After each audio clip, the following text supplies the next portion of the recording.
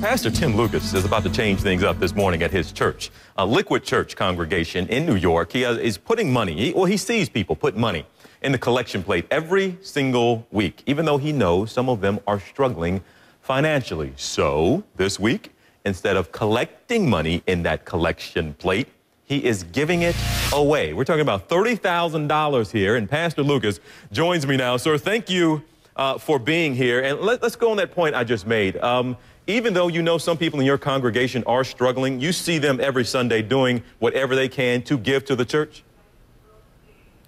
That's correct. Our typical Sunday, people give about $30,000 in cash into our Sunday offering. Wow. And so today, we're going to do just the opposite. They're going to reach in and pull out an unmarked envelope that we have pre-packed with 10s, 20s, and 50s. Okay, where does this money, did you just pull this out of the church funds, the 30,000? That's correct. We took the previous week's offering and we're going to give it back out in the middle of our service today. What is the reaction you've gotten in church to this? I think people are acting like they're going to be struck by lightning. they're typically, uh, you know, a lot of people are cynical about religion and they come to church expecting to be shaken down. But we're saying, you know what? It's really all God's money and He trusts you. You know, every bill in the uh, U.S. economy says, in God we trust, and we're going to put that to the test. Now, do you think there are some people who are reluctant and are just not comfortable taking money? frankly, out of the collection plate for one, but also taking from the church or even admitting that they need some help right now? Well, we're challenging people to creatively invest it in one of three ways. So maybe it's a single mom who receives a $50 bill and she's going to use that to fill her tank with gas this week or pay for a babysitter. So people are free to take it. But we're challenging most people to actually look and help a neighbor in need. Here in New Jersey, a lot of people were hurt by floodwaters of Hurricane Irene. So yeah. maybe they're going to go to buy groceries and cook a meal and bring it over to a hurting neighbor. Others are going to, we're asking them to actually multiply it and invest it over the next three weeks, bring it back, and we're going to donate it to help rebuild a homeless shelter. Okay, and just one envelope you're telling them to take, right? That's right, one envelope, but uh, again, you know, that's between them and God. now, is this, and this is not the first we've heard of something like that. Actually, you all, is this the first time you've done it? This is the first time we've ever done something like this, and candidly, is a little bit of a risk. We're not a rich church. We don't own a building, we don't hold a mortgage, but we're trying to teach our people to be rich in good deeds. Okay, do you think this is what more, because you just made a point. Some people look down on religion. They believe in God, they have their own spirituality, but they just frown on religion sometimes. But this, do you think this is more of the role of the church to be helping community in this way? I'm not asking you to criticize other churches who maybe don't do this, but is this more of what churches should be doing? Yeah, I think the church is supposed to be the organization that exists for its non-members. It's not a country club. It's not a gated community where it exists to serve the members, but we exist to serve our non-members. That is our neighbors in need, the communities. I think when people hear the name of our church, Liquid, they assume we're a cult or a drinking fraternity. and uh, we named it Liquid for one reason. Jesus calls himself the living water, and we think church should be refreshing. All right, last thing. Do you expect those pews to be a little more filled than previous uh, Sundays? I assume some people in the community who haven't come to your church might just show up today. Is that okay with you? Everybody in attendance is welcome at Liquid. Um, this is not a bribe for people to come to church. It's not going to be a bailout. I mean, let's be realistic. $20 is not going to change somebody's life. But people may come, you know, hoping to find a bailout. We hope they find something better. We hope they find God. All right, Pastor Lucas, we will follow up. Like you said, it's kind of a risk. You're not a risk rich, uh, rich church, so I uh, hope it works out for you all. But uh, thank you for spending the time with us, certainly on a busy Sunday for you all, and good luck today. Thanks so much, TJ. God bless. All right, who's excited for today's offering? You guys ready? We're going to have some fun. Hey, welcome to Liquid Up. My name is Tim. That was eight years and 15 pounds ago.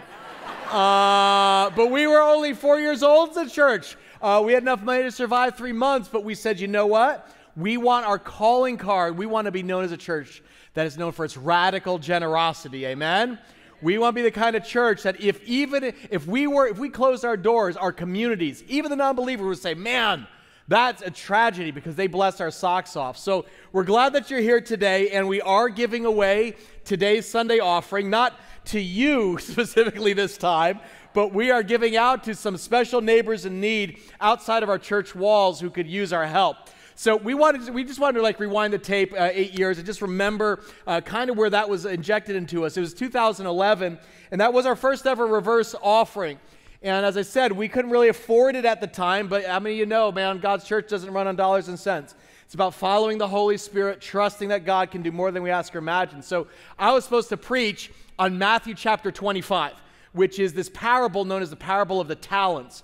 And in the story Jesus tells, he says, uh, uh, this master's going away, and it says he called together his servants and entrusted his money to them while he was gone. He gave five bags of silver to one, two bags of silver to another, one bag of silver to the last. In other words, he divided it in proportion to their abilities. And so we were like, you know what? We want to really, we don't want to just read God's word, we want to do God's word. And so someone said, I got an idea. What if we give away God's money? And we're like, what? Uh, to God's people. And it was like, that's crazy. And I was like, I love it. Uh, because every bill in our currency says, In God we trust.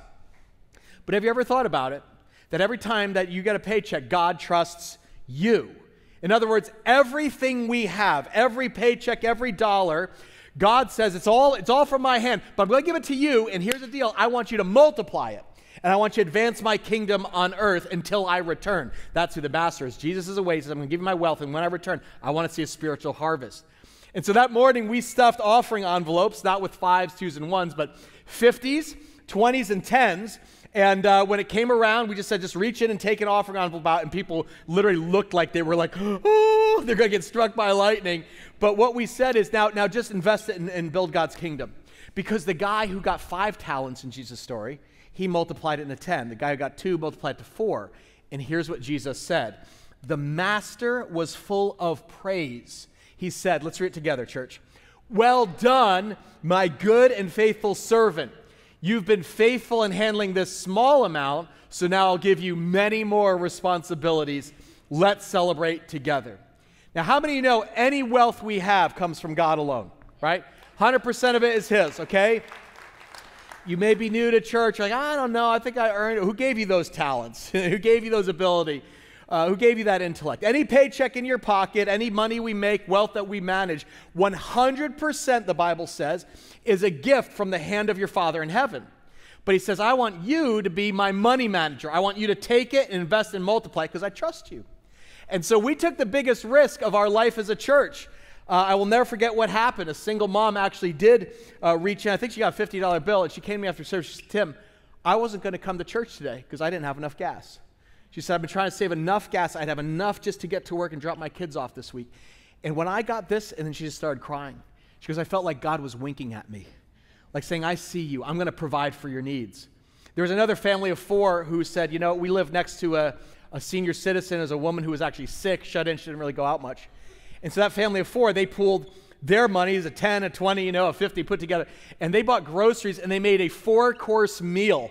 And they brought it over to her, spent the afternoon just eating and visiting with her, so they gave her their time. I was blown away by the creativity that people came up with to bless their neighbors. At one campus, the owner of a hair salon, this is so fun, he used his $50 bill to give free haircuts to the homeless. Take a look at this. The stylists in the salon were like so inspired by his generosity, they donated their services, and for an entire weekend, they cut hair, they trimmed beards, they gave free salon services to three dozen homeless people in their city. Love it. That's God's people.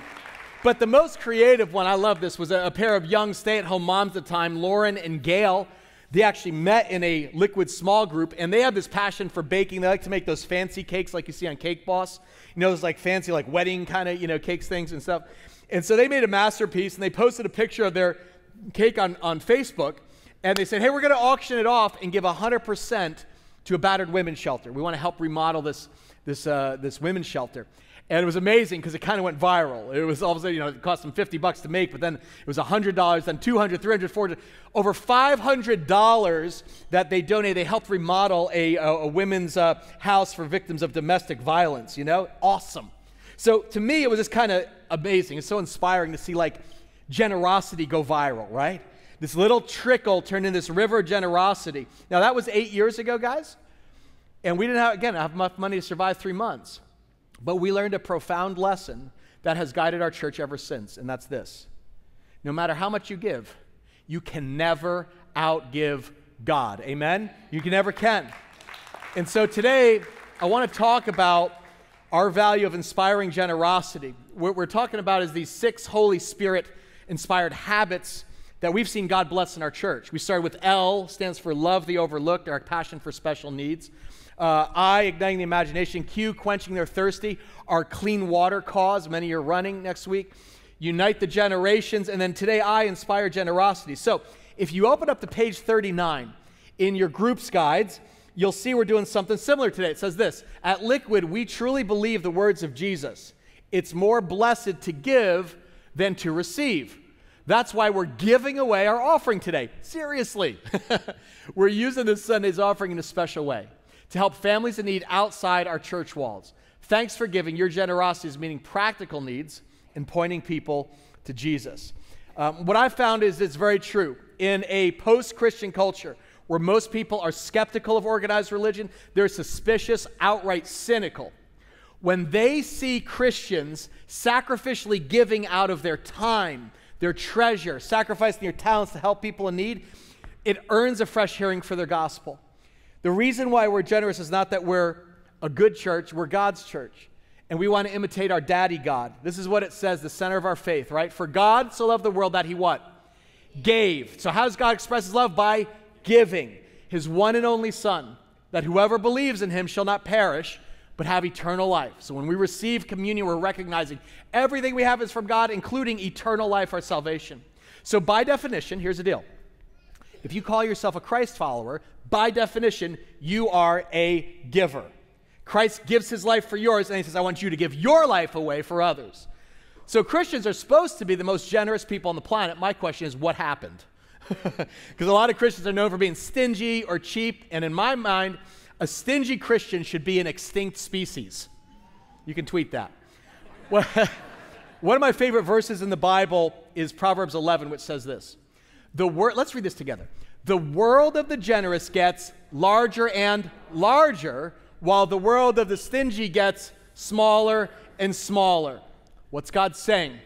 He's saying that when you're generous, it not only enlarges your heart, it enlarges your perspective, it actually enlarges your world.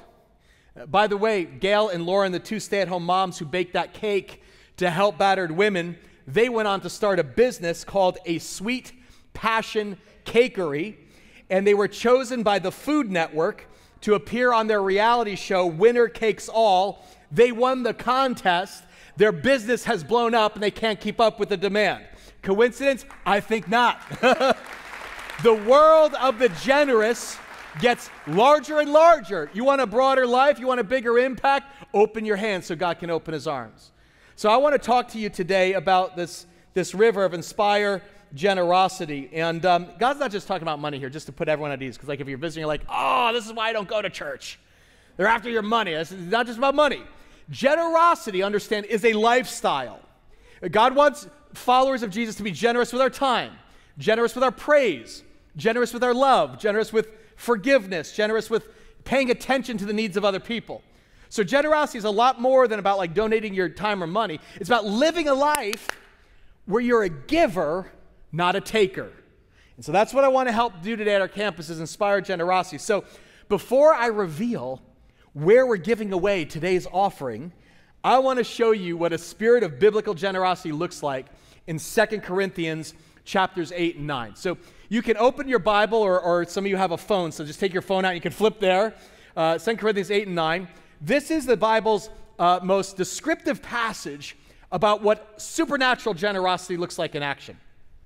Now, let me give you a little background. Like when you hear like Second Corinthians, this is a letter that was written by the Apostle Paul to a church in Corinth. That was ancient Greece. That's why it's called Corinthians, okay? So it was a letter written, if it was like written to our church, it would be called Second New Jerseyans, okay? And in this letter, Apostle Paul is going to describe how the early Christians in the church at Jerusalem were suffering. They were actually quite poor.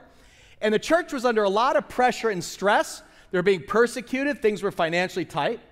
And so Paul said to the other churches, he says, Hey, these guys are hurting. So let's receive a special offering to help them. Let's give generously to relieve the stress they're under. So all these churches in Macedonia, they stepped up and said, "Oh, absolutely, man. We have a heart to help. We'll, we'll give, we'll give generously." And so here, Paul, as you're about to read, he's writing this church in Corinth and he says, Hey, how about you guys? You guys got a heart to help? What, what, what are you going to give to help your hurting brothers and sisters? And so he points to these churches of Macedonia as an example of what true generosity looks like. Here's what he says in verse 1 and 2. He says, And now, brothers and sisters, we want you to know about the grace. Everyone say grace. It means gift. I want you to know about the spiritual gift that God has given the Macedonian churches. And then he describes it. In the midst of a very severe trial, their what? Their overflowing joy and their extreme poverty welled up in what? Rich generosity. So, see the overflowing joy, rich generosity, Paul's making a connection. And if you're taking notes, here's the first true quality of biblical generosity it is enjoyable. Christians are told to give out of joy, not out of guilt, not out of duty, not out of obligation. Oh, I got to put a tip in the offering bucket. We give actually out of sheer joy. Generosity is enjoyable. It says, in the midst of a very severe trial, their overflowing joy just kind of spilled out of them, welled up in rich generosity. But notice it says they're in the middle of their extreme poverty. In other words, this wasn't a rich church, had nothing to do with their circumstances. They were extremely poor. In fact, you know what was happening? It says they were going on a severe test. You know what that was? Persecution. Like Christians in Syria who are being killed by ISIS, they were being slaughtered. They were losing their lives. Second Corinthians is written during the Roman period when Nero was on the throne. So if you were a Christian and you were caught, you were either fed to the lions for sport or you were dipped in tar and pitch and set on fire to light the gardens of Caesar. So you understand? In that culture, if you're a Christian or follower of Jesus, you died. So these Christians are poor and they're persecuted, but watch, it doesn't stop them from giving. It says their extreme poverty welled up in rich generosity. They gave out of joy. Now, guys, unbelievers don't get this. You may be here today and you're like, I'm not a Christian. I understand why that sounds crazy to you. You will never truly understand this until you ask Jesus Christ into your life. It's until you have that communion moment where you realize God gave his son to cancel my debt. I got nothing on me anymore. And so now my whole life I'm giving back to God. You will not understand it. When people see you giving out of what little you have to someone you don't even know, in our culture, they're like, that's cray cray. That's crazy town. But in the kingdom, it's commonplace. Generosity is just a natural byproduct of joyful living. Let me ask you this Have you ever noticed the happiest people in the world are givers? Yeah? They're not takers, right? Think about the people in your life who you love being around. The most miserable people in the world are people who are just takers, right? I mean, even that word miserable and the word miser come from the same word. because when you're miserly or you're stingy, you're just a miserable person. But the Bible says actually a spirit of generosity is enjoyable. It's one of the most fun things you can do give open handedly to God, and then watch Him multiply it and change the world. So, give you an example. Next Saturday, some of you are being generous with your time. You are coming here, you're going to run for Rwanda. You're going to get up early. You're going to come to Parsippany. You're going to give a couple hours your morning. You're going to jog. I'm going to power walk, kind of, you know, stroll. And what we're doing is we're giving 100% of this outreach um, to provide clean drinking water for the poorest people on the planet, our brothers and sisters in Rwanda who are recovering from genocide. But here's something inspiring. One of the families in our congregation was so inspired by this mission. The dad said, uh, Pastor Tim, I own a business. And God's just blessed me. He's just enabled me to be successful. Our family, I don't know why He chose us, but we've just been successful. But here's the deal I want a spiritual profit. he said, I want my success to have significance. He said, So I give generously, I tithe, but I love this idea of giving the poorest people on the planet clean drinking water. And so I want to double every donation next Saturday to the Run for Rwanda. Can we thank God for that generosity? That's incredible. I was like, it's like, bro, I can't thank you enough. You know, he said, he said, are you kidding me? He said, it's a joy to do. It's a joy. Guys, you're sitting next to some of the most generous people on the planet. So far in our 12 years, the people you're sitting next to have now donated over $3.3 million to bring clean water to 100,000 people. That's incredible. So understand, it's like, the, like in the Bible here, like the Macedonians. Your generosity is literally helping poor Christians on the other side of the world receive the living water.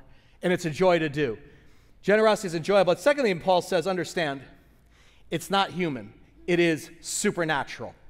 That's what we see here in verse 3. Paul's talking about this poor church who gives to help others, and he says, For I testify, I'm telling you, I'm telling the truth, he says, they gave as much as they were able, and watch this, even what? Beyond their ability. How do you give beyond your natural ability? It's called supernatural giving. In other words, natural giving is like, I'm going to keep all this for me, and maybe I give a little bit over here. I'll, I'll, give what I'm able, or I give what I can afford. But supernatural giving is when God whispers in your ear and you're like, I'm actually going to give beyond my natural ability. Now, understand, there are many of you who do that every week through your tithes, through your offerings. Like when we receive offering, what you're saying is, I'm going to take money that you could have used for a legitimate purpose to pay a bill, to uh, make a car payment, to you know uh, buy clothes, whatever it was. You took money that you could have used, that you needed, and you're like, I'm going to use it for something else. I'm going to use it to feed the poor. I'm going to use it to clothe the homeless. I'm going to use it to serve families with special needs. Understand, that is not the natural way of things. that is supernatural. Do you know what's natural? It's natural for me to hoard. it's natural for me to keep every little thing for me, my precious. It's natural for me to be Gollum, my precious. It's natural for me to worry and wring my hands. What about the trade war? What about a possible recession? What about that's what's natural. It's supernatural when you give beyond your ability. It's what it means is it is the Holy Spirit that inspires you, whispers, trust me. Trust me enough to open your hands and give away some of what your Father's given to you to bless others. I had a cool phone call this week with a single mom who she had given this um, just extraordinarily generous financial gift this fall. And I was, when I heard about it, I was a little taken aback, honestly, because I was like, single parent, she's living in New Jersey, you know how hard that is, raising kids, the whole thing. And so I called her. I said, you know, beyond just thank you, I said, I just always love to know, like, what exactly did the Holy Spirit whisper to you that, like, inspired such a significant gift? And she said, well, Tim, actually, it's, um, I had a relationship that didn't work out. That's why, you know, I'm single now. But I moved to New Jersey. I actually had to sell my previous house. But you got to understand, Tim, I believe everything I have is God's. And so when the house sold, I felt the Holy Spirit telling me, you need to tithe on the sale. Now, tithing, that just means you give the first 10% of anything you receive back to God. It's a way of putting God first in your finances, right? I was like, you tithe on the sale of your house in New Jersey? Guys, that's supernatural. And she said to me, she goes, Well, it's actually not that hard. I just find in my experience, the more I give, the more God blesses. In other words, that's what happens when you give beyond your natural ability. When you open your hands, God opens his arms. Paul writes this in chapter 9. He says, Remember this. Look what he says. Here's the principle Whoever sows sparingly will also reap sparingly. And whoever sows generously will also reap what? Generously. So he's talking about like scattering seed like a farmer.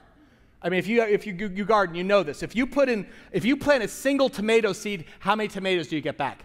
What? No, you, have never planted anything, bro. it's a trick question. You, you know, yeah? You put in a single tomato seed, what happens? You get a whole vine of tomatoes, right? You, let's try it again. You take a single apple seed, you put the single apple seed in the ground. How many apples do you get? a whole tree, a bushel of apples. The point is, when you open your hands, God multiplies what you give him. Paul says, He who sows generously will reap generously. In other words, God says, You choose how much you want to bless, get me to bless your life. Like, actually, it depends on your, if you sow a little bit, you're going to get a little bit. You sow more, you get more. God says, I, I have the power to multiply this, but it's totally up to you. The more you open your hands to help others in my name, God says, the more I trust you. It's not about giving to get. I'm going to bless you and going to grow your faith supernaturally because you share my heart. So understand that spirit generosity is supernatural. And notice, biblical generosity is totally voluntary, just to take the pressure off. I'm letting you off the hook. You don't even have to give a cent today. You will not change God's love for you. You don't have to give a dime. In fact, if it's your first time and you're like, ah, oh, I knew it. I bet that guy's like a private jet or something like that, you know, like televangelist kind of thing behind the scenes. Just like forget it. God's not, we, we don't want you. God doesn't need your money. How many you know that? He doesn't need it. But you need to give to break the grip of materialism on your heart because we live in Oz. So understand whenever we give at church, it's not out of guilt, it's not out of duty, it's not obligation or pressure. There is no pressure ever to give. In verse 4, Paul says this, and this is a crazy verse. This is crazy. He says, here's this poor church. Of their own free will, they what?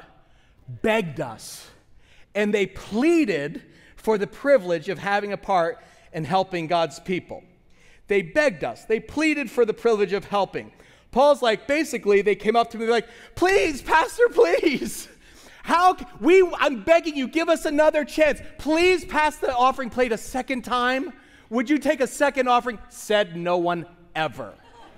Okay? How many of you know this is very hard for non Christians to understand? Because maybe you, I grew up going to church when the offering plate came around, I thought, oh, this is like a restaurant. This is where you put a tip in. Yeah? I like the music, you get three bucks today. They played my favorite song, 350, you know, kind of thing. You're like, I didn't, I didn't, I didn't like that whole little thing though. I'm going to take some out. You know, it depends where you are in New Jersey, right? People on the outside, when they look inside the church like this, they say, Well, I understand why people give. They're forced to give, they're pressured.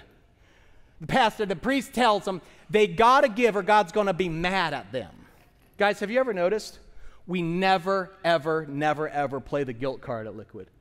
I talk about this in the book. We never, ever, ever pressure people, and we never will. You know why? Because it's worthless in God's eyes. God is not interested in guilt offerings. Manipulation taints generosity. It, you might as well just keep it because the only generosity God says matters to me comes out of the heart and it's 100% voluntary. It comes out of the joy of realizing, oh my gosh, God's blessed me and now He's positioning me to be a blessing to others. In 2 Corinthians 9 7, here's what Paul says. Favorite verse. Each of you should give exactly this amount. Doesn't say that. Each of you should give what you have decided where? In your heart to give. So it's not just doing the math on a calculator, add your heart to give. Not reluctantly or under compulsion, like you're pressured, because here's the kind of giver God loves God loves a Let's say the word cheerful with a true cheer. God loves a cheerful giver. We love to give. Guys, in 12 years of leading this church, we have never pressured or guilted anybody into giving a cent. And here's why because we trust God 110%. God has supplied every need of this church. We, like if we just close shop today, it's like incredible what he's done. But understand, we trust God and we trust you we actually trust the Holy Spirit to provide what we need. And what I've found is whenever we have an opportunity to bless others outside our church walls, we trust the Holy Spirit will speak to your heart. Because you're the church. We're the church together, right? It's not the building. We're the people, the body. And so the Holy Spirit lives in us. And so I think today the Holy Spirit's going to inspire us together to do something pretty cool. And so before we receive today's offering, let me tell you about our opportunity to help our neighbors in need. Um, over the last year, we pretty much kind of, you know, we plan, but we pray pretty much about most major decisions in the future. We say, you know, before we start making plans, let's just commit it to prayer. And we've been praying about how we as a church can be a blessing to the cities where we're privileged to have a liquid campus. Uh, we now have seven congregations in seven cities. And so we just have a heart to serve the families there, especially ones who are struggling to make ends meet, kind of living paycheck to paycheck. In fact, we actually tell our campus pastors we want you to go meet with the mayor or the town officials And they typically go in there, and I've had several of these meetings with the mayors, and you know, we, after we introduce ourselves, they're like, "Oh yeah, we've heard about Liquid." Da, da, da. And we said, "Mr. Mayor, it's just our from my heart. Just hear me. Is there a group in this city who need our help? Is there somebody who you would like to see served, but you don't have the budget for it?" And you know what they typically say? Get out. they, are like, I, I, don't believe you. They, they, don't say that, but they, they're, they're like, wait, why? Because they're cynical. They're like, separation of church and state, you're going to try to convert people, you got some religious program. And we're like, no, no. we're like, there's no catch. And they're like, this is like no strings attached. And so we always tell them, we said, there's literally no catch. We're here because God so loved the world that he gave his son. So Jesus has said to us, freely we've received, now freely we give, no strings attached. And so this past year, we became aware of a growing problem for many New Jersey families in the cities where we have campuses. More and more, low income families are having problems paying for school lunch for the kids. In fact, what we discovered is that kids in school districts who can't afford to pay for school lunch are receiving more and more of a stigma. In other words, you go through the line, and because your parents can't afford lunch, they say, whoop, and they stamp your hand and make you sit at a different table. In some districts, if you have school lunch debt, meaning your parents couldn't pay for lunch, you don't get to play sports. Some districts in New Jersey, they actually hold back your diploma. Can you imagine? This is happening all across the nation. It's very underreported. And as CBS News reports, it is a growing epidemic in New Jersey schools. Tonight, that there really is no such thing as a free lunch. One local school district is threatening to report parents to the state if they don't pay for their kids' lunches. CBS 2's Valerie Castro tells us about the cafeteria controversy. We're just contacting parents to say, hey, can you just pay the bill? That question seems simple enough, but the Englewood School District in New Jersey says not enough parents are paying up when it comes to school lunches. Now the district has come up with this solution. The last resort would be to call uh, the state and, and Child Protective Services and say, hey, this is some type of, you're, you're hurting your child you know, you're not taking care of your child. That's a responsibility. Students are never denied a meal at school if they don't have the cash, but it's adding up. The school district says an audit revealed $100,000 in unpaid food. School lunch costs $2.50. Divide that up, and that's 40,000 unpaid meals. How did that get so out of control? There are no systems in place here. You know, this is as a new superintendent, we have a new business administrator. We are doing a lot of changes to put systems in place so that things work much more efficiently. The district says the new policy first calls for letters to be sent home to parents. That's followed up by phone calls, face-to-face meetings, and finally that call to the state. It's taxpayer money. We want to make sure we're being paid. Some parents say the new measures are too tough. You think it's too extreme? That's way extreme. Child Protective Services? that ain't good. Others understand the concern. We're not perfect people. Parents have a lot on their plate. But if this is something that's constantly happening with the same adult, same parent, same child, then that's something that Child Protective Services needs to get involved in. The district plans to implement the new policy this fall. In Englewood, New Jersey, Valerie Castro, CBS 2 News. You guys remember getting lunch in middle school? How awkward that was? You like kind of go through the line and you're looking at the girls over there. Maybe that was just me. And you're like, I want some tater tots, and I'll have tater tots. And you have tater tots, and imagine you're going through with your friends. And now, of course, it's being middle school. You're thinking there's bullying, there's social media, mass shootings, all this stuff. And you're going through lunch line with your friends, and they're like, You get lasagna, you get lasagna, you. Oh, your parents can't pay for it. You get white bread with sun butter and jelly. And you're not actually allowed to play basketball this fall. You can sit over here at this table. Imagine in middle school that stigma being attached to you?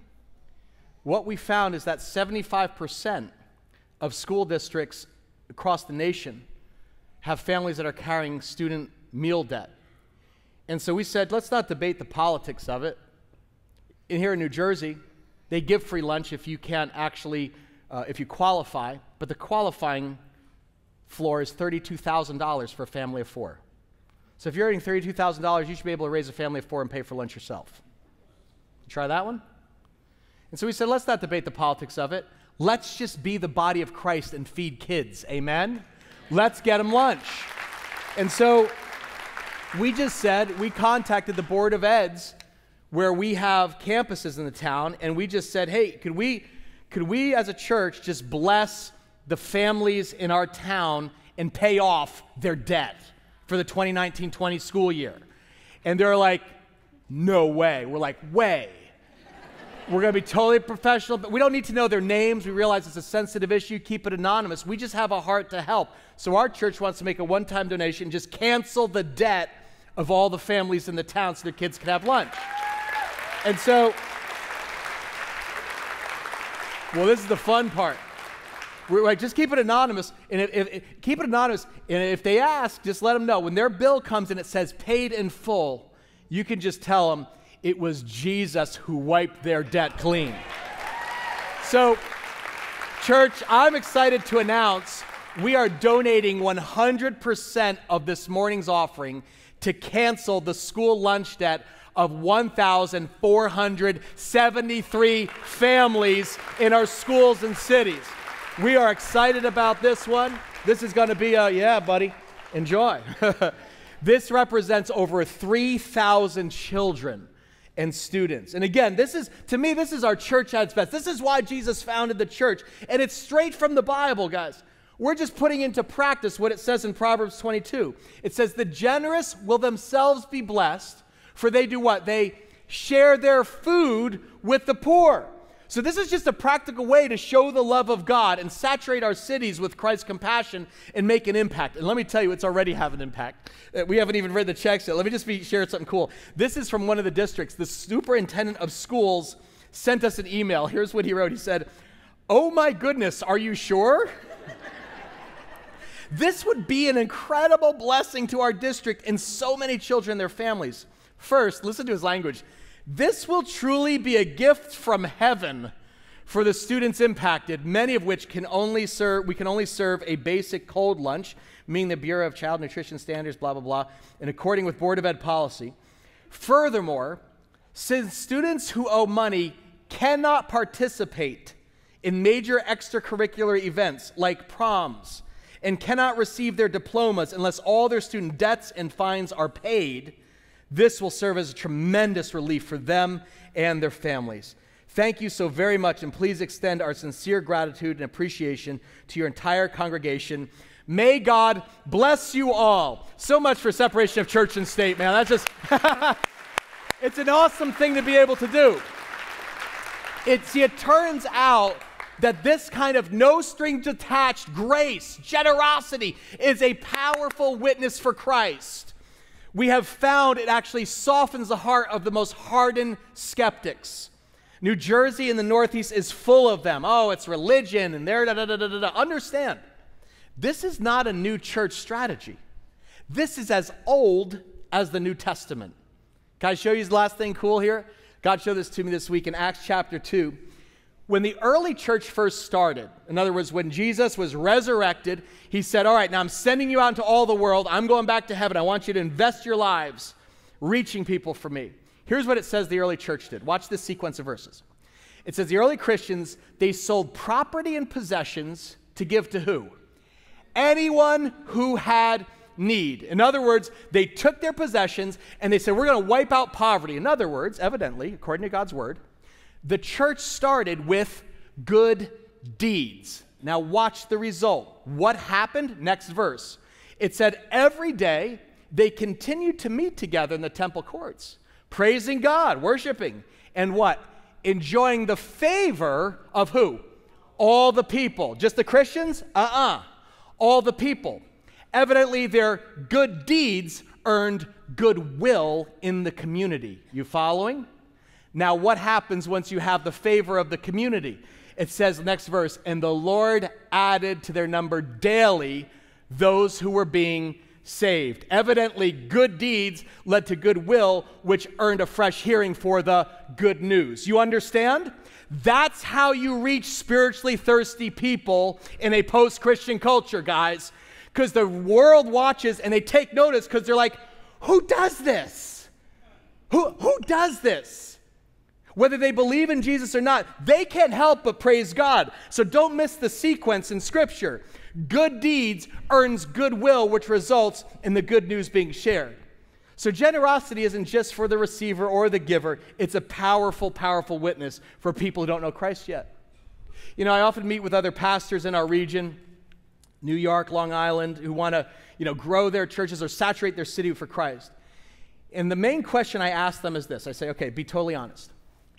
If your church closed its doors tomorrow, would anyone in the community care? I'm not talking about Christians. Would any non believers care? Because I like to think that our church is such a blessing in the communities where we're privileged to have a campus that even non Christians like, I don't agree with them, but man, they bless our socks off. Thank God Liquid is there because they're the church, not with the rock and worship, not with the interesting preaching. They're the church that blesses the socks off our city.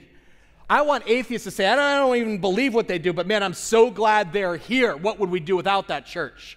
We want to be so vital to the cities that if we closed our doors, the entire neighborhood would be upset. Guys, this understand is how the gospel spreads in a post Christian culture. I really feel like we need a new reformation. You know, the first Reformation was about creeds. I think the second Reformation needs to be about deeds. The, the, first Reformation was about debating doctrine. Guys, we need to stop debating the Bible and start doing the Bible in practical ways. No kid should go hungry. No, no kid should be shamed because their parents can't pay for lunch. Kids are already stressed on every side. So we're like, you know what? We just want the people of God flowing in the power of God to saturate our city with the generosity of God. Say amen if you agree with that. Amen. We're going to do it. We're going to cheer. We got an amazing opportunity right now.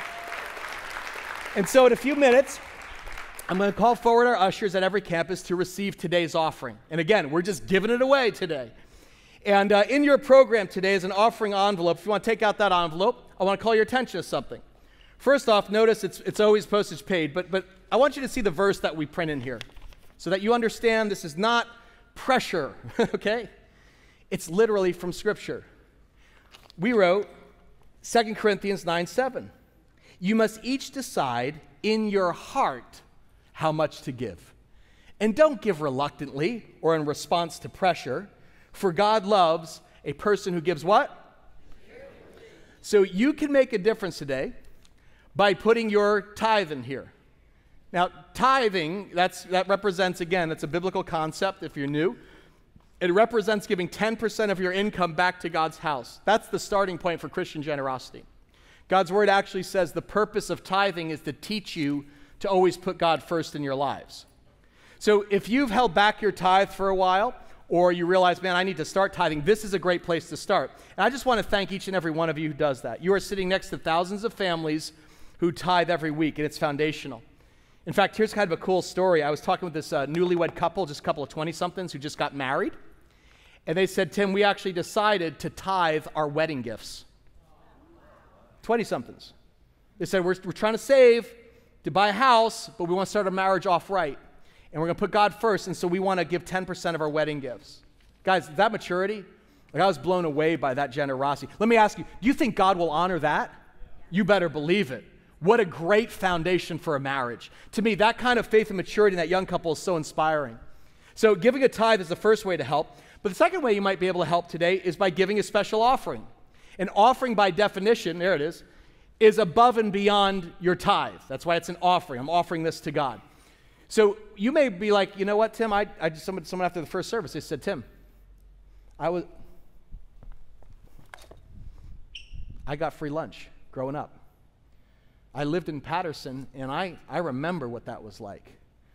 I remember my mom weeping because I, she didn't have money to pay $800 for me and my brother and my sister.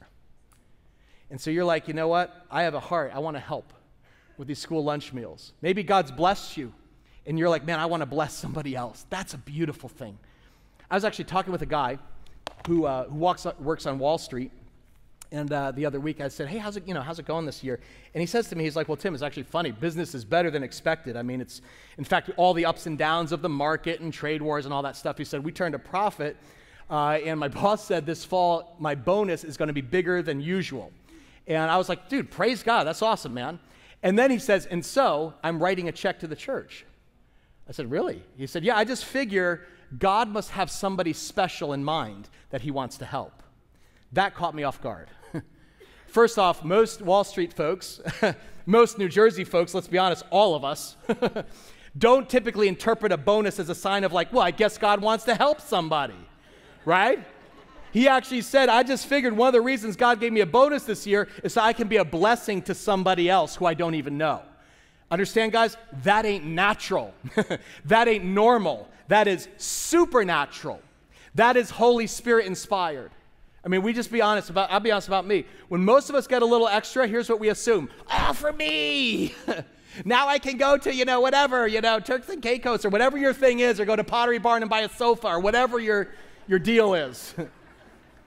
but a spirit of generosity asks a different question. It's like, wow, God, thanks. Thanks for blessing me. You must really trust me. You must want to bless a lot of people through me.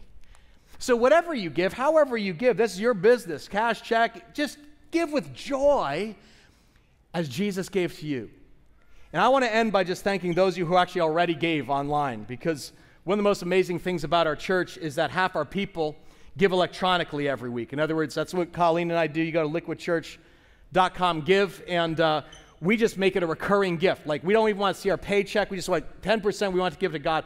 And I just want to give you huge thanks for those of you who do that because that's a mark of spiritual maturity. In other words, you're saying every time, I don't even want to forget, I just want to automatically always give back to God first. And that's a huge blessing to our ministry. In fact, here's what I want you to know your giving this week is going to go far beyond paying school lunch debt. Part of your offering is going to go help feed the homeless on the streets of Newark and Paterson. It's going to bring clean water to Busasamana, Rwanda and it's going to help pay for packing 1 million meals this December for the global poor. So it is your weekly tithes and offerings that allow our church to go beyond our cities and serve the world for Jesus Christ. So thank you for your global generosity. Amen? All right, if you're ready to do this, we're going to give cheerfully. So let out a cheer. Three, two, one. You ready? Let's do it. All right. I want to call our ushers forward at all of our campuses. Let's do this. Come on down, guys, with our, our popcorn buckets. And would you just stand there at the front aisles? I just want to pray for us before we receive today's offerings. Father, you've opened our eyes to your word. And Father, we've seen you've opened your hands to the world by giving Jesus Christ, your Son. And Father, you canceled our debt of sin. It is paid for, it is gone. Praise you, God. You have given us, Lord, our sins forgiven. You've given us a purpose for living, and you've guaranteed us a home in heaven. And so, Father, open our hearts now as we give. I pray, would you just flood your people with the sense of the joy of the Holy Spirit, God? Lord, do more than we ask or imagine. I pray that you will take these gifts, Lord, and as we send 100% out of the walls of this church, it would multiply in your hands. Father, we want to harvest 10, 50, 100, 1,000 times, Father, what we could do in our own strength. I pray that all of the fruit of this would be laid at your feet, that all the glory would go to Jesus' name as we serve our city and saturate it with your love. It's in Jesus' name we pray. Everyone said together, Amen.